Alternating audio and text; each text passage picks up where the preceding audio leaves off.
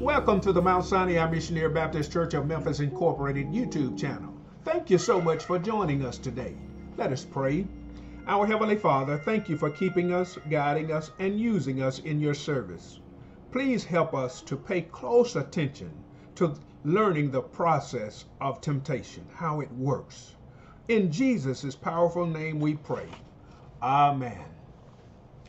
Uh, our text for today is found in the book of Genesis, chapter 3, verses 6. Chap- Genesis chapter 3, verse 6. That reads uh, So when the woman saw that the tree was good for food, and that it was a delight to the eyes, and that the tree was to be desired to make one wise. She took of its fruit and ate. And she also gave some to her husband who was with her, and he ate. That's the English Standard Version of Genesis chapter 3, verse 6. Our subject for today is how temptation works. How temptation works, the process that goes uh, from beginning to end of our temptation by Satan. Now, I ask that you would ask the Holy Spirit to clear your minds so that you can, can so, so that uh, God can speak directly to you. And then submit to the Holy Spirit so that He can usher you, me, all of us into God's presence so that He can illuminate and enlighten our hearts for devotion to our Lord Jesus Christ. Now, uh, temptation go, has a process from beginning to end. Uh, I remember when I worked at Procter and Gamble, they uh, making uh, Pringle potato chips had a process from beginning to end, from uh, the dough to rolling it out to cutting the chips to salting the chips, to canning the chips, to carrying the chips in the can to the warehouse to be picked up and distributed throughout the United States and the world. Uh, everything has a process. Life itself is a process. So we're going to look at the process of temptation to learn how it works. The first thing we're going to look at is the human soul is often tempted by a desperate foe of unusual subtlety. Again, the human soul is often tempted by a desperate foe of unusual subtlety. That's Satan. Genesis chapter 3, verse 7 says, Then the eyes of both were open, and they knew that they were naked. And they sewed fig leaves together and made themselves loincloths. Now, Satan is after what belongs to God. That's what he's trying to get.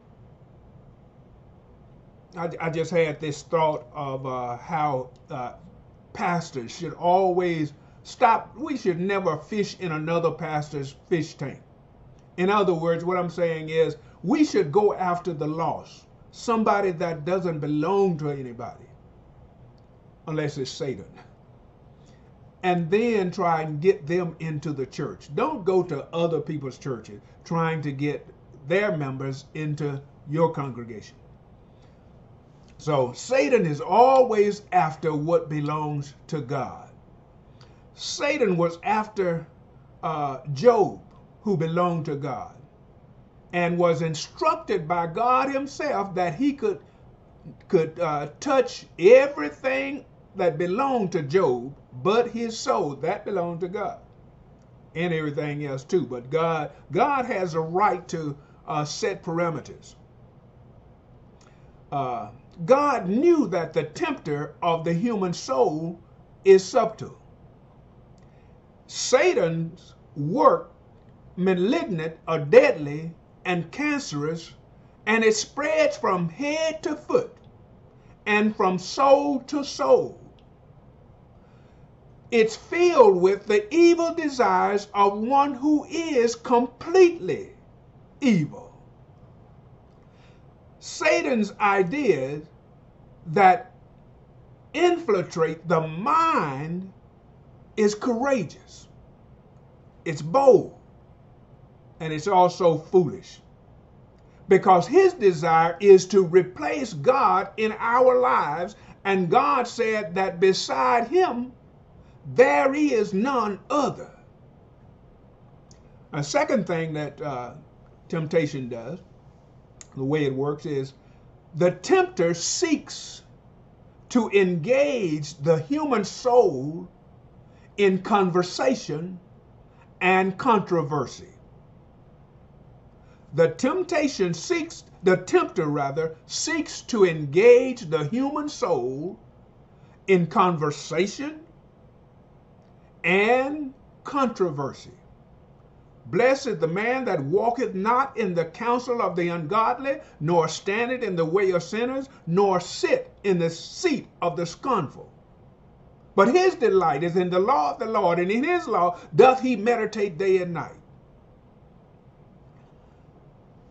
Satan seeks to hold controversy with the human soul, that he may render us in a hurry to throw the moral restrictions of life off.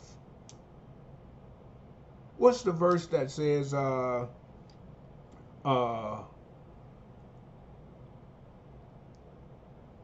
man, that that that that uh, we throw off we, we are looking for an opportunity to the interpretation of the, the verses we are looking the human race is looking for an opportunity to quickly throw off the restrictions of life.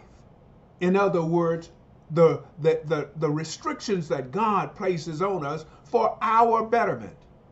Satan uh, satan wants to awaken within our thoughts a derogatory character towards God.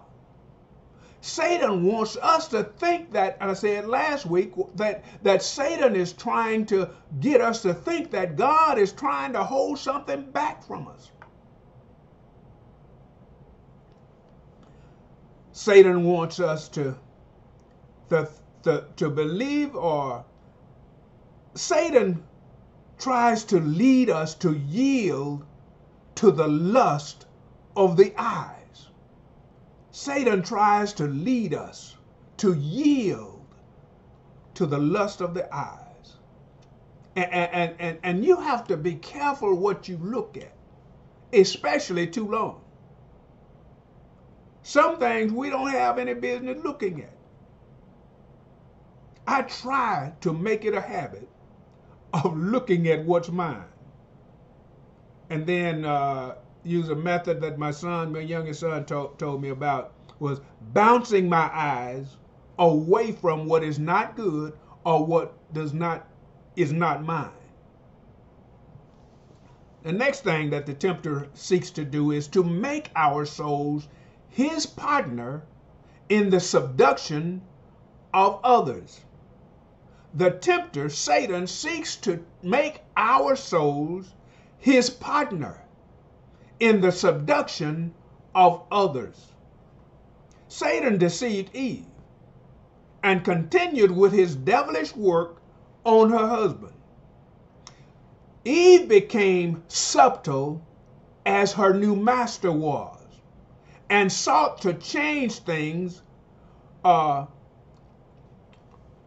for what she believed to be better than God's way. That's what Satan is out to do.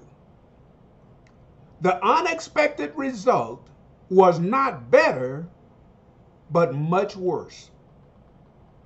She lost fellowship with her Creator and her caretaker, Adam, who had been instructed by God to keep his creation in the condition it was created. God looked and saw it was good, and God wanted it to stay good. But Satan now uses Eve to join into his work. The result of Satan's work also stopped Adam from taking care of, but Eve now sought to take over. And I'm just saying. And too often, that modus operandi continues to this day.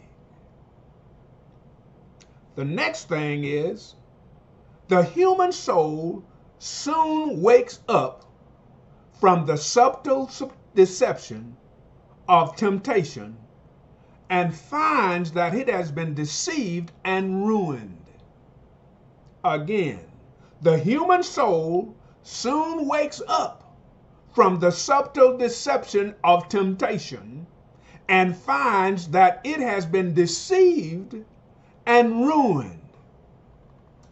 Again, verse 7 says, Then the eyes of both were opened, and they now know or knew that they were naked.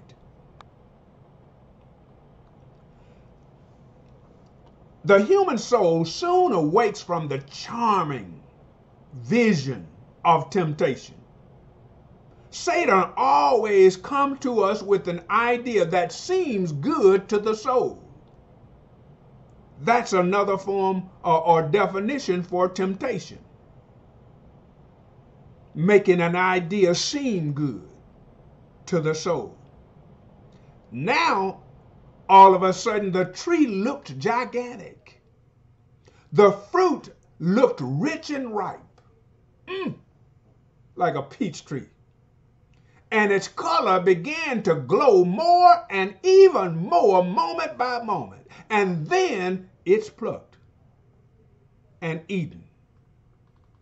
And then comes the bitter taste, the sad calling to mind, the moment of despair. What have I done now? To Adam and Eve, sin was a new experience. And no man is made any better for the bad experience of evil.